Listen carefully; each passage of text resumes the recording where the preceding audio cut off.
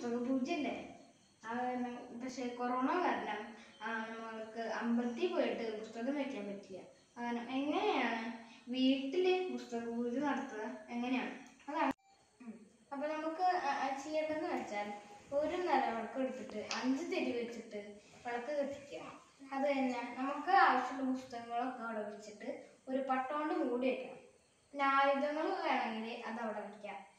അപ്പോൾ എന്റെ അച്ഛൻ ആണ് പണി. കാരണം എന്റെ അച്ഛന്റെ ആയുധങ്ങളൊക്കെ അവിടെ വെച്ചിട്ടുണ്ട്. അത് കഴിഞ്ഞാൽ നമ്മൾ പ്രധാനമായിട്ട് ദൈവത്തിന്റെ ഫോട്ടോ ഏതാണെന്നറിയാം സരസ്വതി ദേവിന്റെയാണ്. അപ്പോൾ അതിന്റെ അവിടെ വെക്കുക.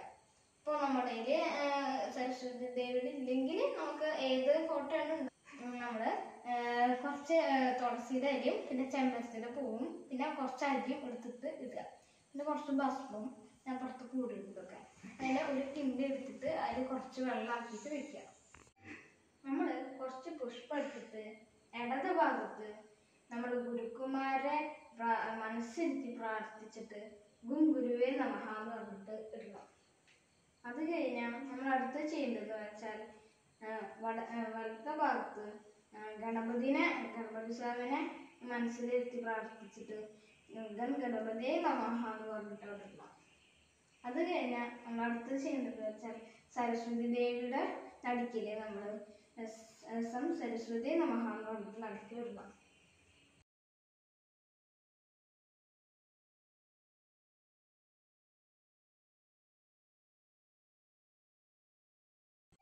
നമുക്കറിയുന്നത് പ്രാ- പ്രാർത്ഥനയൊക്കെ പ്രാർത്ഥിക്കുന്നത് ഇതൊക്കെ നമ്മൾ പ്രാർത്ഥിക്കുക. അത് കഴിഞ്ഞാൽ വിദ്യാധനം സർവധനം പ്രധാനം നല്ലേ വിദ്യയാണ് നമുക്ക് ഏറ്റവും വേണ്ടത്. അപ്പോൾ നമ്മൾ ദൈവത്തിനോട് വിദ്യ തരണേ എന്നുകൊണ്ട് മനസ്സിരുത്തി പ്രാർത്ഥിക്കണം. അത് കഴിഞ്ഞ് നമ്മുടെ കയ്യിൽ. നന്ദി നമസ്കാരം. നിങ്ങൾക്കിപ്പോൾ മനസ്സിലായില്ലേ എങ്ങനെയാണ് ഇപ്പോൾ നമ്മൾ പൂജയൊക്കെ ചെയ്യാന്ന്? അമ്പലത്തേക്ക് പോവാൻ തന്നെ വീട്ടിലൊക്കെ വെച്ചാൽ. ഞാനിത് ലൈക്കും ഷെയറും കിട്ടാനൊന്നുമല്ല കേട്ടാ ചെയ്തത് എനിക്ക് ഇങ്ങനത്തെ സാഹചര്യം വരുമ്പോ ചെയ്യാൻ വേണ്ടിയിട്ടാണ് എനിക്ക് അറിയുന്ന പോലൊക്കെ ചെയ്തത് ചിലപ്പോ കുറെ തെറ്റുകളൊക്കെ ഉണ്ടാവും. ചിലപ്പോ വേറെ സ്ഥലത്തേക്ക് വിടുന്നത്. പക്ഷെ നിങ്ങൾ ക്ഷമിക്കണം. എനിക്ക് അങ്ങനൊന്നും അറിയില്ല. എനിക്ക് അറിയുന്നതൊക്കെ ഒക്കെ ഞാൻ തന്നുണ്ട് അപ്പോ നന്ദി.